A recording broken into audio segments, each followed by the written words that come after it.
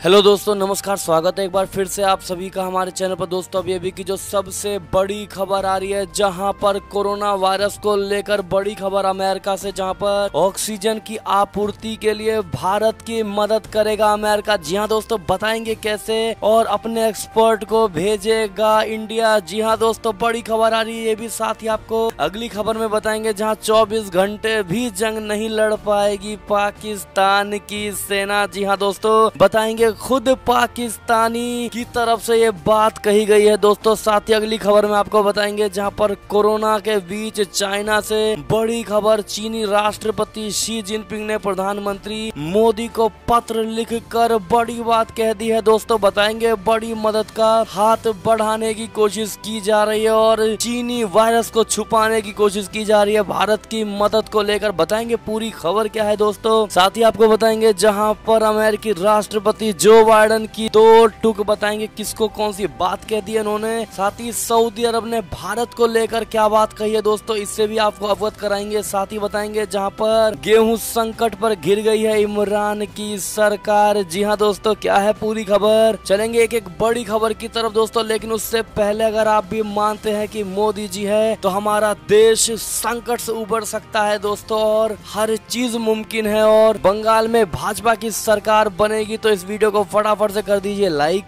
Channel को कर दीजिए सब्सक्राइब बेल आइकन दबाइए, साथ ही कमेंट बॉक्स में लिख दीजिएगा जय हिंद, जय भारत। जी हाँ दोस्तों तो चलते हैं पहली और सबसे बड़ी खबर की तरफ़, जहाँ आपको बता दें दोस्तों, बड़ी दुखद खबर है। आज तक के वरिष्ठ एंकर रोहित सरदना का कल निधन हो गया है दोस्तों, जिसके बाद खामोश हो गया है उनका दंगल का उस्ताद। जी हाँ दोस्तों, अगर आप भी उनके देहांत से दुखी हैं तो दोस्तों कमेंट सेक्शन में श्रद्धांजलि देते हुए रोहित सरदना के बारे में दो बातें ज़रूर कह दीजिएगा। दोस्तों, चलते हैं दूसरी सबसे बड़ी खबर की तरफ़, जहाँ कोरोना वायरस के इस जुल्म से जुड़ी बड़ी खबर, जहाँ ऑक्सीजन की आपूर्ति के लिए भारत की मदद करेगा अमेरिका। जी हाँ दोस्तों, भेजेगा एक्सपर्ट्स टीम को इंडिया में बता दे, अमेरिका के राष्ट्रपति जो बाइडन का प्रशासन भारत में लोगों की जान बचाने के लिए ऑक्सीजन आपूर्ति बढ़ाने और दुनिया में कोविड 19 महामारी के अब तक के सबसे विकट प्रकोप के खिलाफ सफल लड़ाई छेड़ने के लिए काम कर रही है। United States Agency for International Development यानी यूएसएआईडी के एक अधिकारी ने ये बड़ी बात कह दी है दोस्तों। भारत में शुक्रवार को कोरोना वायरस के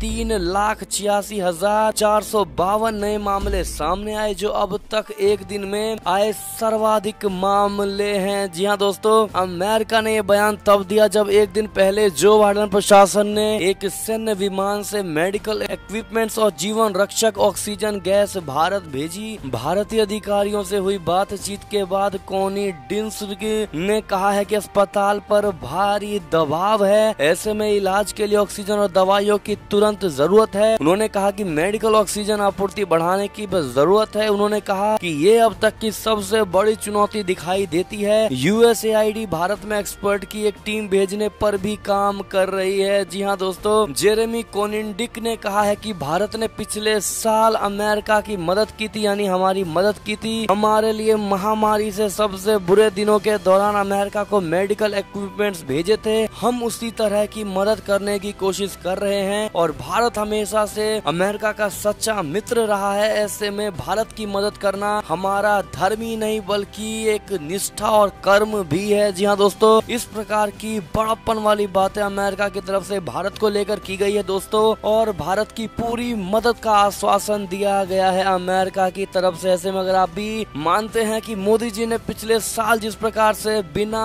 किसी लाभ के अमेरिका की मदद की थी दोस्तों, और आज वो मदद भारत के लिए रिटर्न के रूप में एक वरदान साबित हो रहा है तो कमेंट सेक्शन में आप भी thank you America thank you Joe Biden ज़रूर लिख दीजिएगा दोस्तों। चलते हैं तीसरी सबसे बड़ी खबर की तरफ़, जहाँ फजलूर रहमान ने खुद कह दिया है कि 24 घंटे भी जंग नहीं लड़ पाएगी पाकिस्तानी सेना। जी हाँ दोस्तों, बड़ी खबर आ रही है ये भी पाकिस्तान से। पाकिस्तान की सेना को लेकर एक बयान को लेकर विवाद छिड़ गया है। दोस्तों, इमरान खान की सरकार में सूचना और प्रसारण मंत्री फवाद चौधरी, जमीयत उल्लेमा इस्लाम के मौलाना फजलूर रहमान के उस बयान पर भड़क उठे, जिसमें उन्होंने कहा है कि पाकिस्तान की सेना 24 घंटे भी जंग नहीं लड़ पाएगी। जी हाँ दोस्तों, मौलाना फजलूर रहमान पाकिस्तान पाकिस्तान सरकार के खिलाफ लंबे समय से प्रदर्शन कर रहे हैं और इमरान खान की इस्तीफे की मांग कर रहे हैं। दोस्तों, अब उन्होंने सेना को लेकर भी तीखी टिप्पणी कर दी है। इमरान खान की सरकार में मंत्री फवाद चौधरी ने मौलाना की टिप्पणी को आतंकवाद के खिलाफ जंग में और मातृभूमि की सुरक्षा के लिए अपने प्राणों की आहुति देने वाले शहीदों का अपमान बताया है। तो आप देख सकते हैं दोस्तों, किस प्रकार से खुद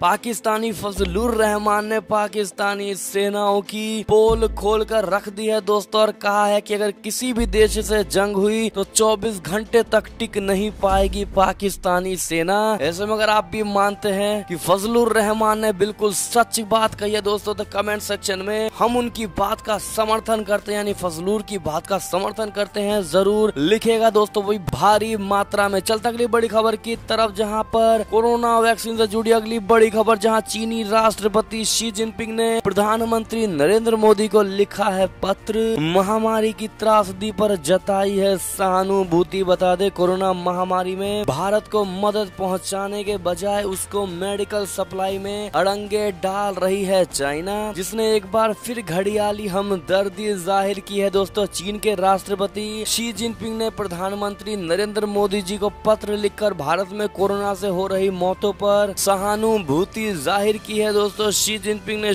शुक्रवार को भेजे गए पत्र में कहा है कि भारत में कोरोना से हो रही त्रासदी पर चीन की जनता और सरकार की ओर से वे गहरी चिंता व्यक्त करते हैं। इस संकट के दौर में वे भारत और उसकी जनता के साथ सहानुभूति व्यक्त करते हैं। जी हाँ दोस्तों, साथ ही आपको बता दें, भारत के साथ चीन का सहयोग बढ़ाते हुए शी जिनपिंग ने कहा है कि चीनी पक्ष कोरोना महामारी से लड़ने में भारतीय पक्ष के साथ सहयोग को मज़बूत करने और इस संबंध में सहायता प्रदान करने के लिए तैयार है और मुझे विश्वास है कि भारत सरकार के नेतृत्व में भारतीय लोग निश्चित रूप से महामारी पर विजय प्राप्त अवश्य करेंगे। तो देखा आपने दोस्तों किस प्रकार से चाइना अब भारत की मदद करने की बात कर रहा है दोस्तों, जिसने खुद पूरे विश्व को संकट में डाल दिया है। आज वो भारत की मदद करने की कोशिश कर रहा है। ऐसे में आपका क्या जवाब होगा दोस्तों? शी जिनपिंग को लेकर कमेंट सेक्शन में ज़रूर लिखिएगा। अगर आप भी चाहते हैं कि भारत चाइना की मदद ना ले तो कमेंट सेक्शन में अपनी राय अवश्य दीजिएगा दोस्तों। देखते हैं कितने भारतीय ये चाहते हैं और कितने चाहते हैं कि मदद लेनी चाहिए। बताइएगा ज़रूर दोस्तों आपकी क्या राय होगी, क्योंकि इस समय में भारत की जनता ही एक भारत के लिए जड़ी बूटी के समान है दोस्तों। तो कहना बिल्कुल मत भूलिएगा। चलते हैं अगली बड़ी खबर की ओर, जहाँ पर अमेरिकी राष्ट्रपति जो बाइडन ने कहा है की हिंद प्रशांत क्षेत्र में मज़बूत सैन्य मौजूदगी बनाए रखेंगे। जी हाँ दोस्तों, अमेरिकी संसद के संयुक्त सत्र को संबोधित करते हुए राष्ट्रपति जो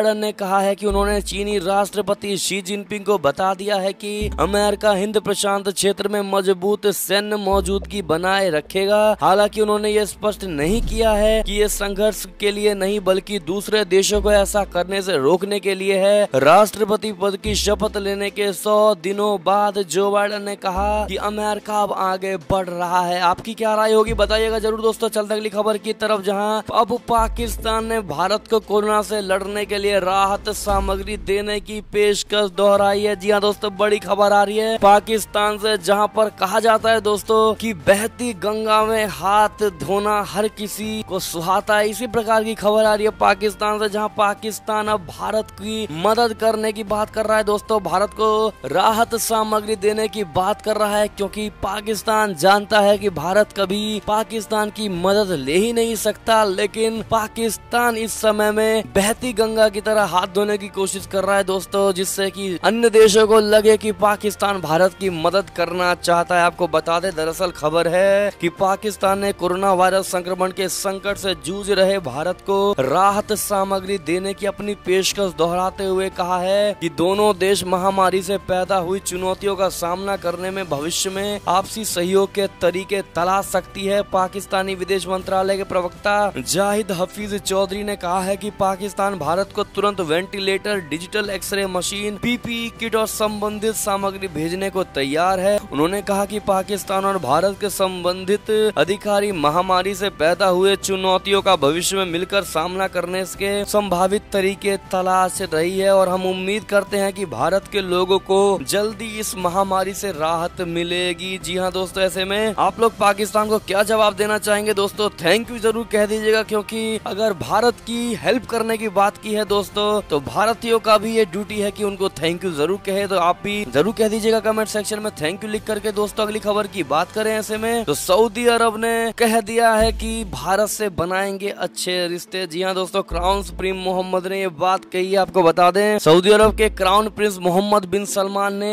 राष्ट्रीय टेलीविज़न पर एक साक्षात्कार में खुलकर कहा है कि वे भारत के साथ अच्छे रिश्ते चाहते हैं और हम इस पर काम भी कर रहे हैं। उन्होंने भारत के पड़ोसी पाकिस्तान पर कोई विशेष बात नहीं की जो बताता है कि सऊदी क्राउन प्रिंस भारत के साथ खड़े हैं। जी हाँ दोस्तों, ऐसे में आप भी थैंक यू सऊदी अरब। जी हाँ दोस्तों, ज़रूर कह दीजिएगा, अगली खबर की बात करें तो कोरोना की दूसरी लहर आने वाले 20 दिनों में होगी पीक पर। जी हाँ दोस्तों, अपनी ऊंचाई पर होगी कोरोना की दूसरी लहर। अगले 20 दिनों में बता दें एसबीआई की रिपोर्ट में यह बड़ा दावा किया गया है। दोस्तों, देश की सबसे बड़े बैंक, भारतीय स्टेट बैंक की रिसर्च इकाई यानी एसबीआई रिसर्च ने अपनी एक रिपोर्ट में दावा किया है कि कोरोना की दूसरी लहर में जिस तेज़ी से संक्रमण फैल रहा है, उसे देखते हुए आने वाले कुछ दिनों में हम इस लहर के पीक पर होंगे। जी हाँ दोस्तों, आपको बता दें कि एसबीआई रिसर्च ने अपनी नई रिपोर्ट में दावा किया है कि मई के मध्य तक, यानी 15 मई तक, भारत कोरोना की दूसरी लहर के पीक पर होगा। तब देश में कोरोना संक्रमण के करीब 36 लाख मरीज़ होंगे। हालाँकि रिपोर्ट में इसके अर्थव्यवस्था पर पड़ने वाले असर को भी बताया गया है दोस्तों, ऐसे में ये बड़ी खबर है और आप लोगों से हाथ जोड़कर, हमारी टीम की तरफ़ से हाथ जोड़कर विनम्र निवेदन है दोस्तों, कृपया करके अपने हेल्थ की ख्याल ज़रूर रखिएगा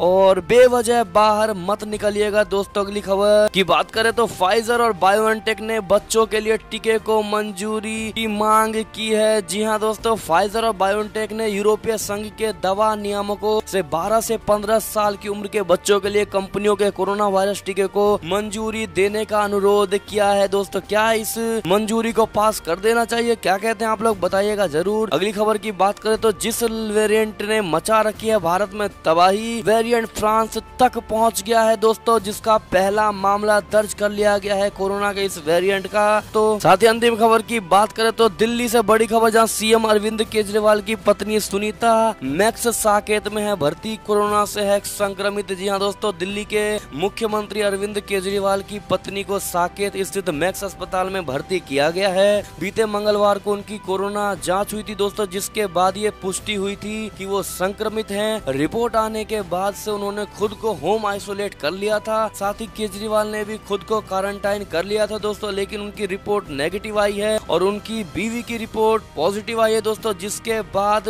उनको मैक्स साकेत में भर्ती करवाया गया है। दोस्तों, ऐसे में आपकी क्या राय होगी इस कोरोना वायरस के इस स्ट्रेन को लेकर? और आप लोगों से क्या विनती, निवेदन करना चाहेंगे दोस्तों, एक मौका हम आपको देते हैं। कमेंट सेक्शन में ज़रूर लिखकर बताइएगा दोस्तों, जिसका कमेंट सबसे ज़्यादा अच्छा होगा। हम उसको अपने इस वीडियो पे पिन ज़रूर करेंगे दोस्तों और कमेंट ज़रूर करेंगे। तो ऐसे में लिखना बिल्कुल मत भूलिएगा दोस्तों, और ये थी तक की सारी बड़ी खबरें, आपको हमारी खबरें कैसी लगी दोस्तों, आशा करता हूँ बहुत अच्छी लगी होगी। अगर तनिक भी अच्छी लगी तो इस वीडियो को हमेशा की तरह अपने भाई बंधुओं में व्हाट्सअप फेसबुक ट्विटर के ज़रिए पूरे भारत में